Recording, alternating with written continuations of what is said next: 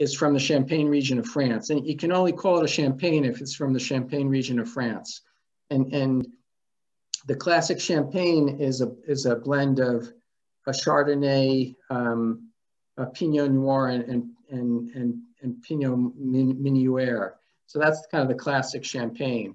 Now, if it's the same wine like made somewhere else, you know, this one made by, you know, Hagafen in Napa, um, you can't call it a champagne. You have to call it a sparkling wine. But it's the same grapes, but you know because it's not from Champagne, it's a sparkling wine. Um, and Hagafen is a very nice vineyard. Um, so if you're interested in you know visiting vineyards and visiting wineries, you know this is the kosher one in, in Napa to visit, and, and it's a and it's a kind of great place where you can go to the winery and if you like drink wine, you can do that. If you like to see the vineyards, which I'm actually more interested in the vineyards than the tasting room. Uh, you know, you can go out there too. Um, and then, you know, I, then, then I put some like sweet wines, you know, on that list too. And, and basically, um, sweet wines are, you know, of different categories. So like the M. du Castel, like, you know, that I put on the list is a Castel wine, which is a Moscato that's a late harvest. So basically, when you harvest them later, the sugar content goes up. Um, when the sugar content goes very high, when the wine is fermented, it can't completely ferment, so it leaves some sugar behind.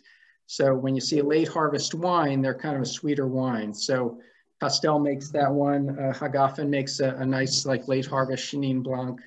Um, now in France, uh, there are wines uh, from the Sauternes region.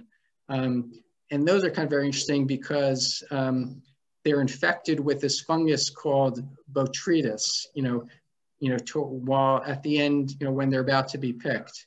And it's, it's also called noble rot. It's, uh, it's not a bad fungus. Like there are a lot of funguses that will destroy the whole crop, but this one basically kind of dehydrates the grape, kind of makes it almost like a raisin and kind of concentrates the sugar. So you can make wine, when you make wines out of that, it's a sweeter wine because it's kind of a higher concentration of sugar. And in in Italy, in the in the Cinque Terre area, you know, there's also they have a you know several hundred year old tradition of making wines from grapes that have been left out in the sun to kind of dehydrate and make a sweeter wine.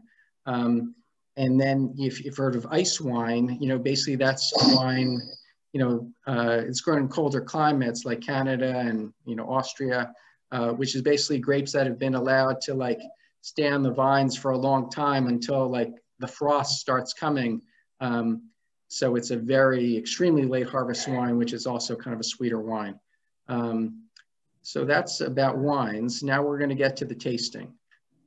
So if you have a bottle of wine, Yarden or, or anything, we're gonna, first we're gonna kind of pour some in there. So if you, if you have some, you can kind of kind of do that. And uh, you know, you don't need a lot, you know, an ounce or two. Um, so there's a, a couple things we're going to do.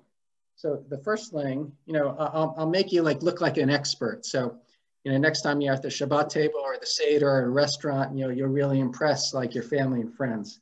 So, so first you want to look at the color, and the best way to look at the color is to, you know, put it down like uh, against a white background. You know, not to like put up in the light because that doesn't kind of distorts it. So you, so, so you look at the color. Um, now, um, Cabernet, you know, Sauvignon classically is a, it's a darker wine. Um, you know, the, the, the grape skins are kind of thick and, and dark and it, it kind of, you know, makes a, a, a, dark wine. So, so you'd call this like a violet color. Like for example, a, a Pinot Noir um, is a lighter color, like, like a ruby color, but you know, this you'd say is kind of like violet. Um, and, and you could also look at things um, like an aged wine um, has like, you can see like a brownish tint to it, you know, particularly kind of edges that you're, uh, as you're looking at it. So if you see a, a, wine that sort of has an amber kind of, you know, aura to it, you know, that's sort of a, could be an older wine that's been aged longer. Um,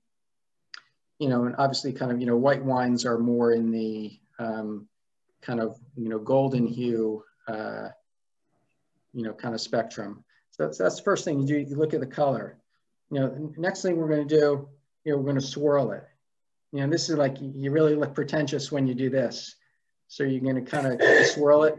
And, and these tulip in a glass like this, it, it's, you know, besides like, you know, looking cool, it, it also, it, it lets the aromas sort of kind of circulate in there, you know, this, so you, you kind of swirl it and you're kind of releasing aromas. Now, now if, if you look at it, you know, closely, you, you may see like these, uh, when, when you're doing that, sort of alcohol is kind of evaporating in there and you may see, um, you know, kind of like rivulets of, of wine kind of, um, you know, kind of coming down the side, um, which is basically, you know, after it's evaporated, it kind of leaves that behind. So if, if you see that, you can kind of hold that up to the light and you see, you know, sort of almost like drippings of the wine. And, and that's called legs. So if you kind of, you know, if you're with a group of people and you kind of swirl and you say, nice legs, you know, they'll really be impressed. So, so those are kind of like the, the legs of the wine. Um, you can also kind of like judge viscosity. Like a sweet wine would be a more viscous wine. You know, this is, you know, a dry wine, so it's not as viscous. Um, so, so that's the first thing. So I'm going to turn you into like a wine, you know, tasting pro. So, you know, you'll, you'll really be uh, impressive. Now, now, next thing is, is, is the smell. This is kind of one of my favorite parts because I don't, because full disclosure, I, I don't really drink. You know, I'll take a sip, um, but you'll never see me like drink a shot of anything. Um, but I like to make wine and like to make good wine, and I'll take a sip to make sure it like, you know, tastes good. Um, but uh, I like to smell them. So, so you kind of swirl it, you know, swirl good, and then you stick your nose right in it and take a, you know, don't be shy. Stick your nose right in it and take a good whiff and uh, and um, and uh, what do you smell? Um, now, now some people uh, will say smells like wine, you know, or tastes like wine, and, and that's okay. But like some people have like really trained noses and palates and can discern all these like smells and flavors. So, you know, if you had one of those, you would say, you know, this smells um, like blackberries or, or plums. Um, and, and basically a Cabernet is kind of characterized by like a black fruit profile. So like, um, again, like kind of the blackberries, you know, the plums, currants. So, you know, it, it, again, even if you don't know what you're talking about, you know, if you're with somebody and you're kind of tasting a, a Cabernet and you're smelling, you say, I smell like blackberry and plums and currants. And, and, you know, and if you really want to be like you know, really consider cool, you say like, oh, I smell like a hint of ginger because like some people smell that in this wine and maybe you can smell it. I don't know, maybe. All right, so maybe some ginger in there. Um, but like a Pinot Noir, for example, is more like a red fruit character. So a Pinot Noir is more like, you know, the, the strawberry, the raspberry, the cherry. Um, you know, has a profile of that uh, in terms of kind of the what, what you smell and, and what you taste. And uh, and uh, a Merlot, you know, could be have both of those. Um, you know, and especially you know could depend when it's harvested as well. So so so that's kind of the the, the smell. Um, now the next thing is the, is the taste. Now when when you taste a wine, you kind of take a sip. You know, it doesn't have to be a big sip but you kind of splash it all over your mouth. So you get it on your tongue, you get on your palate, you know, you get it all over your mouth. So because their taste buds like all over and, and the taste buds kind of taste different things. So you, you know, so you want to get it kind of all over and, and, and just, uh, we'll kind of go over this again, but, you know, things you want to pay attention to, you know, one, like flavors, you know, that you can taste. Um, you know, two is, uh, you know, the acidity of the wine and, and kind of on the side of your mouth, you can detect like a tartness to it. So you can, you know, some wines are more, you know, you know, acid than others. Um, you know, another thing you want to pay attention to is something called tannins, which are, um, they're, they're from red grape skins. Um, and it, it basically, um, you kind of feel like a velvety kind of coating, you know, to your, to your mouth. Um, your palate and your tongue. Um, so wines are described as having like high tannins or low tannins. Um, you know, and the other thing is is alcohol content.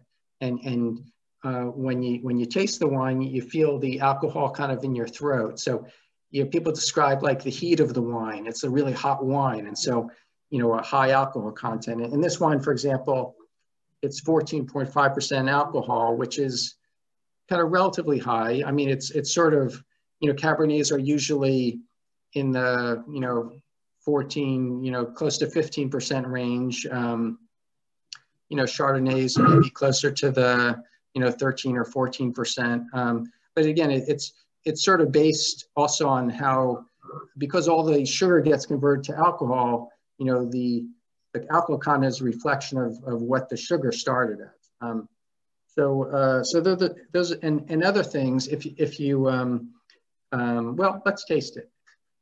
So you can like take a sip.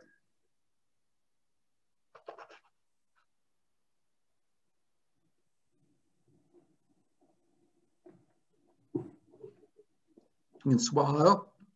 And then like take a deep breath in your mouth and out your nose because that like you know releases uh, you know because the smell and the taste are sort of kind of connected and, and that sort of uh, you know um, your like olfactory you know you know bulb and, and and your smell senses kind of you know interact with the taste and uh, and and you can kind of get expression of different tastes so um, can anybody taste anything other than like good wine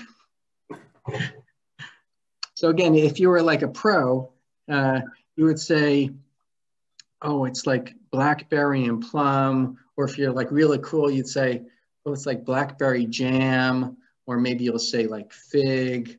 Um, but blackberry and plum is like the classic way to kind of describe this wine. And, and again, if you, you know, tasting wine is like, you know, developing, uh, you know, you know, kind of other senses, like, you know, exercising your, you know, your, your, your palate and your taste. So you, you know, so these sommeliers, you know, who, um, you know, taste hundreds of wines, like, you know, get to like know what they're, uh, you know, unless they're completely faking it, you know, they, they can detect like these flavors. Um, so blackberry and plum, you know, are kind of classic flavors that people detect in a wine like this you know, if you really want to be cool and show your your you've really got this extraordinary, you know, sense of taste, people talk about anise, chocolate, thyme, mint tea, you know, in this wine.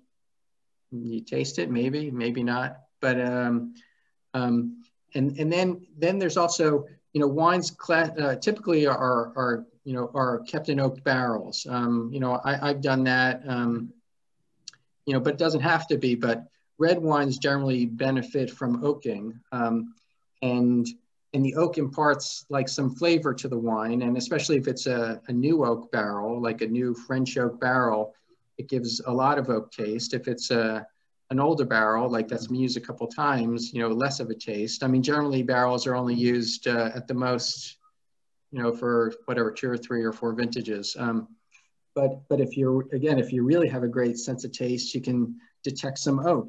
And, and like oak flavors are also described as like vanilla. So again, you know, you can, next time you taste a Chardonnay with your friends, say, oh, I detect some oak and, you know, some vanilla. And if you really want to be cool, you say you, you taste some nutmeg, which is also kind of like an oaky, you know, flavor. Um, and, and then, um, and there are other, you know, flavors that are detected in wine that are kind of relative to the aging of the wine. So as wine ages, it develops, you know, other flavors too. And, and most of these flavors are, are actually like real chemicals, you know, that have, uh, you know, characteristic, you know, you know, smells and tastes. Um, so if wine is described as like leather or smoke or flint, you know, these are kind of signs of like an aged wine. So if you taste this wine in front, you know, in front of your friends, say, I detect like blackberry, plum, and currants with a hint of vanilla, nutmeg, and uh, you know, you know, you can say anything like sod, dirt, and and there's all these crazy flavors like that people kind of, you know, talk about in wines too. That um, you know, it could be like a, a wet T-shirt or you know, kind of crazy things. Um, and people you know, can taste stuff like that, or and then or lemongrass or elderberry, you know, kind of these crazy things. Um, but the bottom line is like, if, if you enjoy it and you like it, you know, it's a good wine and it really doesn't matter what you think you're tasting is if you, if you like it, that's good. Um, and, uh, you know, if you want to, you know, kind of hone your senses, you know, drink lots of varieties and, uh, and, and kind of learn. Um, so that's, uh, that's, that's what I have to say about wine. You know, I'd be happy to take any questions. So Beautiful, very nice. Very nice. try to unmute Excellent. everybody. Excellent. Thank you. Okay.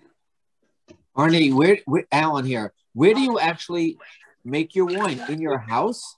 Yeah, my basement.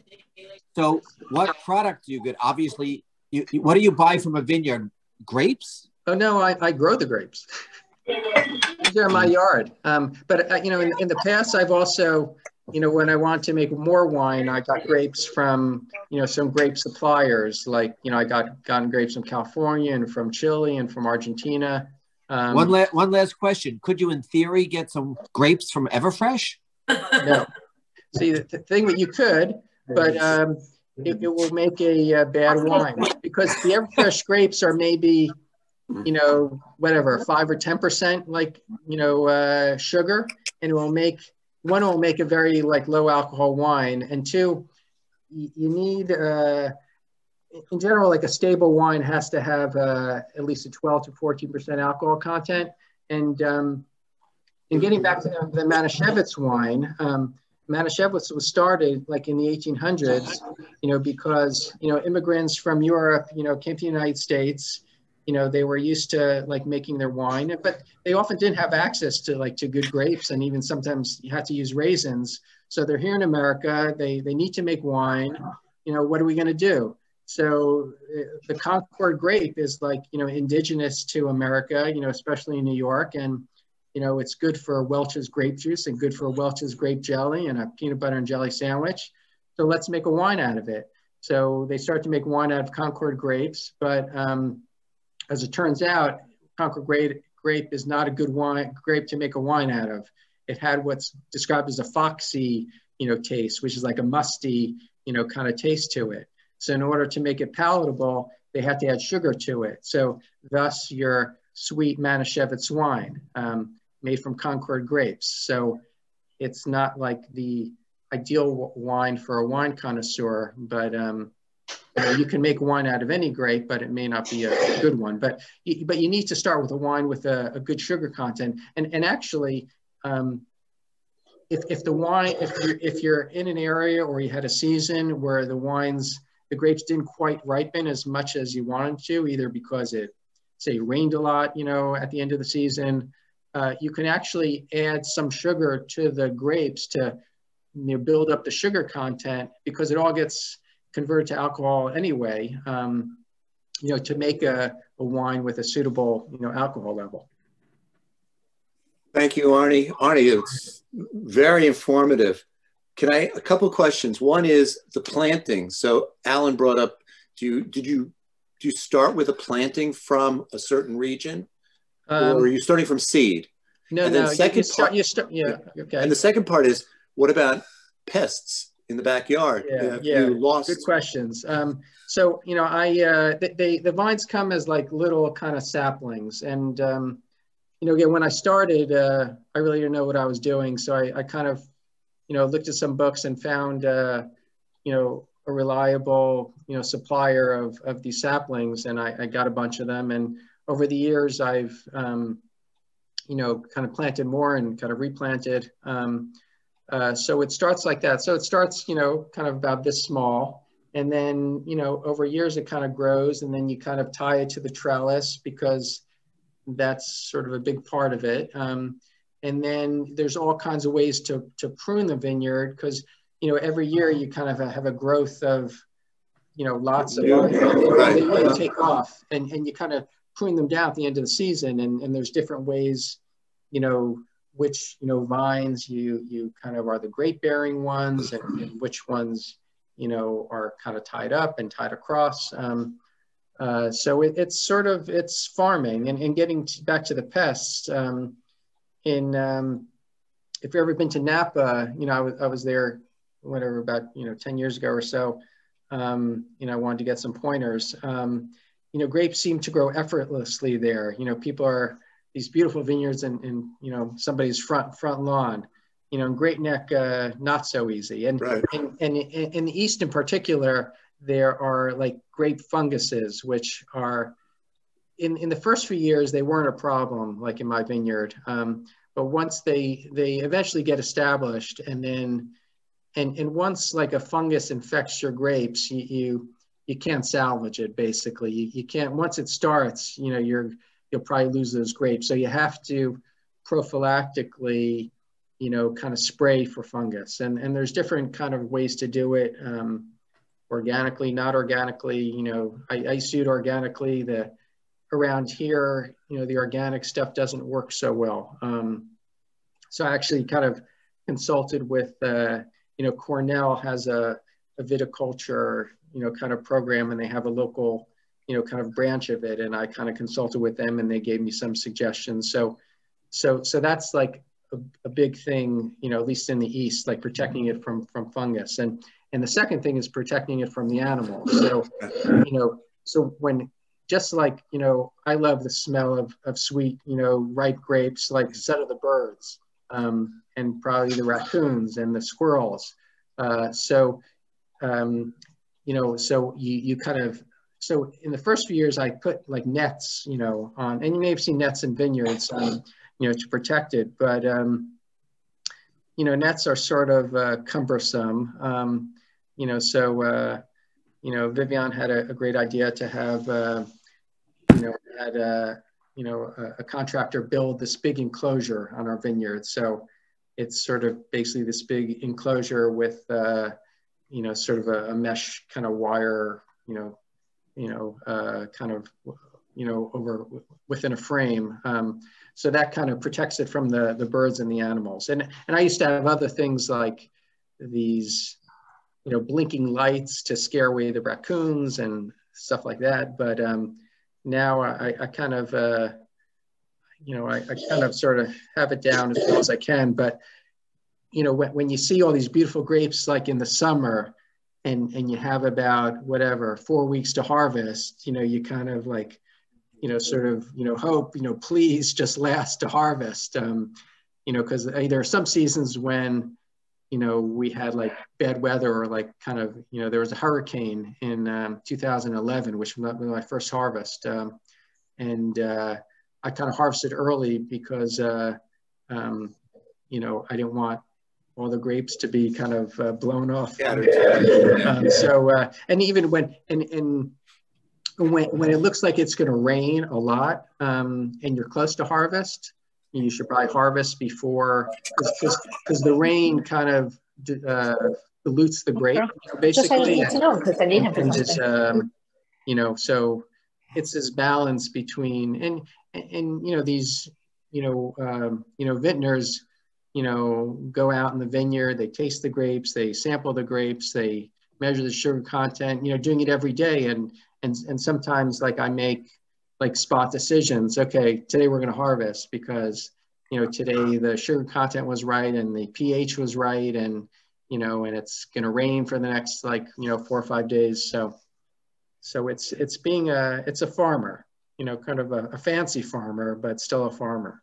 I, I remember back in the 70s when they were taking the potato fields out in Long Island Yeah. to turn them into. They said the soil was was beautiful for it. Yeah. So Great Neck soil is uh, okay.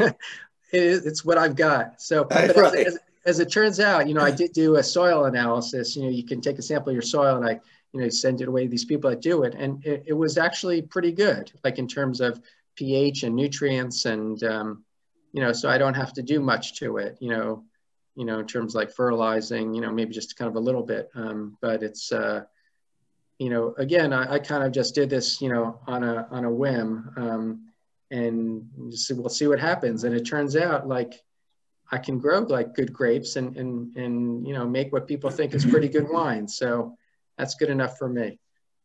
Thank you very much. Arnie, have you ever made honey wine, Ned? No. Uh, Okay. No, I can look that up. I wanted to make a balsamic vinegar once, but uh, that's a big Hmm. process. It's a different kind of grape, and uh, it's all these uh, moving to barrels and barrels and barrels. But um, uh, for now, like you know, reds, whites, rosés, like sparkling wine is uh, my repertoire. Mark, this is a great event, but why are we tasting yard? Why why are we tasting Arnie's wine? My wines are like too expensive. They're too expensive. They're too good for our palate. They're, Okay. they're so expensive, I have to give them away.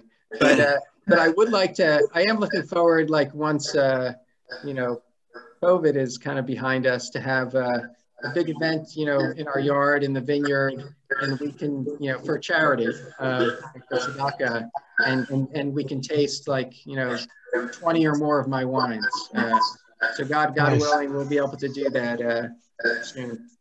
And Arnie, how many bottles a year do you produce? Uh, 30 to 50. You know, I, you know, sometimes I make uh, half bottles also, so I can uh, stretch it more. Um, but uh, but basically, uh, you know, people sometimes ask, and somebody may be thinking, like, how many grapes do you need to make a bottle of wine? And and it's about four 400 grapes. You know, an average of uh, 10 bunches of 40 grapes in a bunch, and about two and a half pounds. Um, you know, to make a bottle of wine. Um, like the, the big barrels that you see, for example, are 60 barrel or 60 gallon barrels, and, and that's about 300 bottles of wine, which is more wine uh, than I make.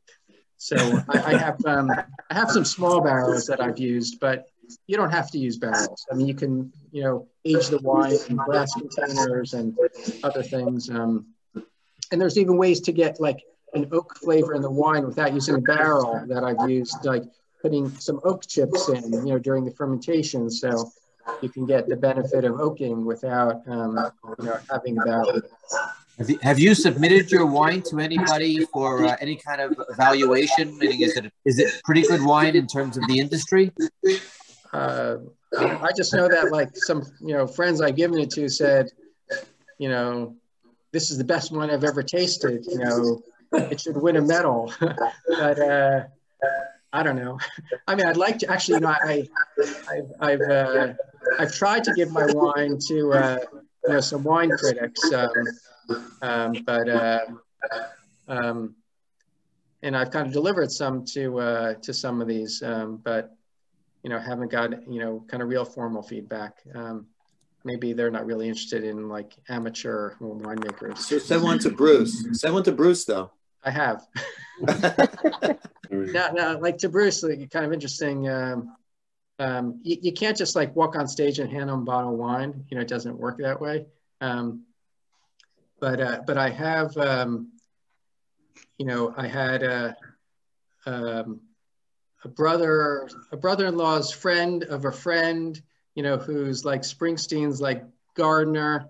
Um, I was able to get some wines, and apparently they say God to him. But but even better than that, um, uh, you know, when when he had his Broadway show, um, you know, again, I'm pretty kind of I'm a real fanatic, so I kind of went like you know before the show. Um, and his wife was walking in, you know, because you know people line up. You know, actually, not many people were there at that time, but I handed her some bottles of wine, and and she's a musician too. Has made some albums, and I made one of her album too. So I handed her a bottle of like, you know, his wine, her wine. She she took it. She was great. This is great, and um, and uh, and then you know when she and then I kind of stuck around when she was kind of walking out. I said, I hope you like the wine. She says, Yeah, I'm taking it home. So I think it got to his house now if I was Bruce Springsteen and some like stranger like makes a bottle of wine for you, uh, you know, I, am an honest guy and a nice guy, and, and I'm I don't make poison wine, but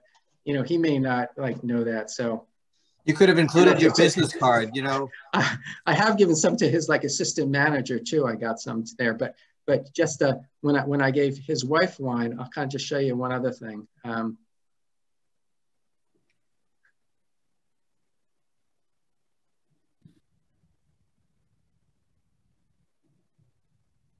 Uh,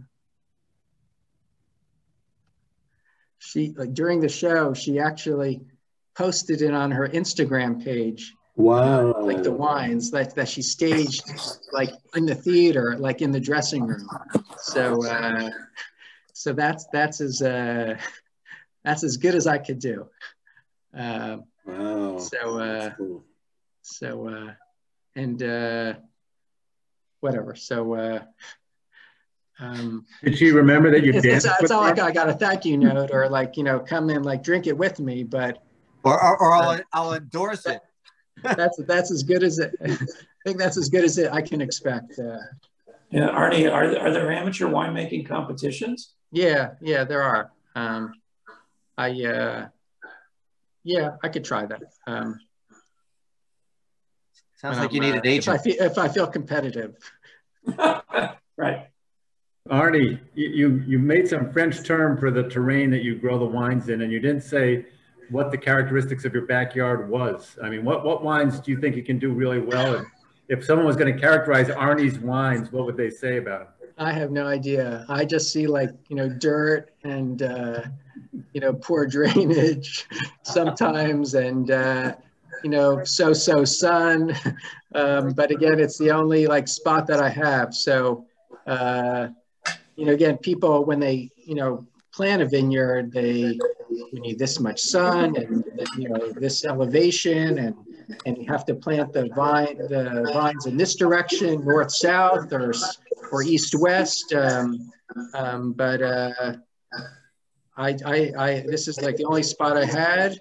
I'm going to do it and we'll see what happens. And, uh, turned out good enough. Arnie, you did good. Thank you. It's good to have Expect- family support. From- from Thank you for family and friends Yeah. Thank you. for filling up the, uh, the Zoom, uh, you know, screen. It was a great job, absolutely excellent. Thank you. We'll just show wanna thank quickly, you. we have a wanna- special bottle. Oh, there you go. See, I made a wedding wine for, you know, Marcel and Ben. This is So I a made one one of for, one. for Mars and Ruby. I made one for my niece Elyan.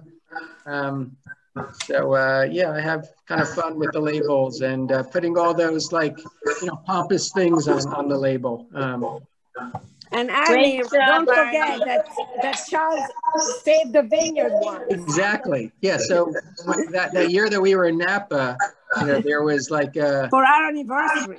right, for, our- for our 25th anniversary, like 10 years ago. Um, you know, Charles uh, was home and, and he calls and says like, you know, the, the trellis like collapsed, you know, so, uh, so he like, you know, kind of resuspended the trellis and, and saved the vineyard. So uh, for that, I'm always in debt to Charles for like, you know, saving our vineyard. And, and like, I've, I've since like um, fortified the trellis, uh, you know, to make it sturdier. Um, but uh, that's one of the challenges of growing grapes. Agreed, great, Mark. Thank everybody for uh, joining us. This is, for me, absolutely one of the best seminars, lectures that It was, it was terrific. Yep. Arnie, I Uh, uh, no, no pun intended. It's definitely homegrown. absolutely. Um, I'm Uh, sure like, we all like I learned said, a like lot. God willing, when uh, code is behind us, we'll have a big event and uh, we'll stroll the vineyard and uh, Right. and you can even uh, you know I've had Charles's friends you know come over for vineyard events and they stomped on the grapes and we don't do that so much anymore, but it, it's still fun to do. And That's some of them Chateau- wanted to move in with us after they saw Right. the wine. Right. You can call it Chateau Lafite. Yeah, yeah, actually, our, our vin, you know, vineyard is Chateau Marcel, by the way. This, this is Chateau Marcel after my daughter Marcel because uh, it sounds nice, right? That sounds great. Sounds French. So yeah, so welcome to Chateau Marcel. Okay. Okay. L'chaim. Hi. Thank Joe. you. Everybody have a have a Zissen Be Pesach. well, everyone. And and you know, and, And, uh, and, and we did this like on a Thursday night. So if you didn't finish your bottle of wine tonight, you can have it for Shabbat. Right. Um, and that's why we Okay. didn't Well, tell you- uh, that's that's why I didn't tell you to buy like you know ten different bottles of wine. So uh, you have to waste them or have a mini Indeed. bottle like that. And, and- and we can uh, come. it- It's such a small bottle. We can come to your house for a refill. But, uh, Of but your again, wine. like, you know, for the Seder, if you want to have fun, like try different, you know, a few different wines. And again, you know, there are wines in all like price points and you can get, you know, very nice, you know, kosher wines in the, you know, in the $20 range. Uh, you know, you can also get them in the, you know, 40, 60, 80, you know, 100 and more range. But, uh, you know, it's it's hard to go wrong, really. Um, Thank you very much. Thanks. Thank you. Look, I am, Mark. Thank. I'm finishing. Andy, good to see you, Andy. Good to see everybody. Yeah, see, I, I Right. didn't Be well. think I, about it, I, so lo- I love Zoom. Now we can see Andy. He's back in Great Neck. he never left. Never Yeah. left. Actually, you know, right. you know, they the wine is grown in every state, you know, in the country. Um, you know, maybe not so well, but we uh, have figs. there, we there- have but, but but there are vineyards in every in every in, Uh-huh. In Alaska, you know, from Alaska, you know, to Hawaii, to Florida, to Maine, and everywhere in between. Um, uh, so, uh, and, and But. I would have to say that you're probably the only kosher wine being grown in Great Neck. Would that be fair true. I think I'm, I'm the I think I'm the only kosher vineyard in Long Island. Um, but um, if you accept my hechsher, uh, but uh, you know, yes, I do. You just, probably just, it's probably just closed me on making just me, me making the wine. But but now you know there's um, you know many regions of the world like that have the best wines. You know Bordeaux. You know um, you know kind of everywhere. You know Italy. You know pretty much every great wine growing region. You know has you know kosher wineries. So if if not like like a, a purely kosher vineyard winery, a lot of these wineries um, kind of um, you know make a kosher make a kosher brand. So they guess they bring in some mashgiach and, and do some supervision and kind of make a you know a batch of, of kosher wine. So uh, Okay, So- how, how did, what makes a wine kosher? I'm sorry, but I don't even know. Yeah, I kind of, you know, started with this, you know, basically two things, you know, all the ingredients have to be kosher. So, you know, there are no additives to add to the wine that aren't kosher. And, and, and most fine wine is basically just grapes and whatever indigenous yeast, you know, is, is kind of in the area. And um, so if you have well-established, like, you know, vineyard and winery, there are kind of established yeasts. So, but if you're going to add things to the wine, like their fining agents and, you know, different ways to manipulate the wine, which which is done. Um, you know, they kind of need to be kosher, you know, kosher certified. Um, and the second Shomer thing, Shabbos. yeah, the second thing is like it has to be Shabbos, from from the time yeah. the grape is crushed to the time it's bottled. It has to be only handled by someone who's who's Shomer Shabbos. And like I was saying in the beginning, that was like to prevent us from mingling with the pagans because the, the pagans use wine in their ceremonies and um, you know so that way uh, we wouldn't go to their ceremonies and, and have their wine because you know you know we don't consider it kosher Great. So nothing is done on Shabbat. None Thank you. Oh, yeah. well. Good well Shabbos. uh, you know um, i mean it could you could i think if the grapes are harvested on shabbat you know that's not because you know a lot of these vineyards are run by non-jews even uh, or you know non-religious people but it, it's it's more like that the handling of the of the of the wine from the crush you know to the uh, to the bottling has to be you know done by someone who's shomer shabbat. So so they'll have a guy in there who's shomer shabbat that does all the hands-on stuff and then he'll you know he'll pour out the wine for the winemaker to kind of taste and he'll decide needs to age more we need to blend it with this and that and that and uh, uh, but the actual kind of you know hands-on stuff you know is done by the shomer shabbat uh, you know mashgiach Awesome. Thanks. Okay. all right Good night. all right thanks for joining Everybody have a Ziza. Thank you. um, be, Mark. behind me those are like some of my Bye, wines Mark, another great men's club event. Thank you very much. Thank you. Fantastic. You're the Arnie best. did, Arnie did a great thanks for job. joining Work you very all. hard. Thank Will you do- all. You do this for my men's club? sure it's recorded Recorded. We have the record. but i'll do it special for your men's club too Yeah.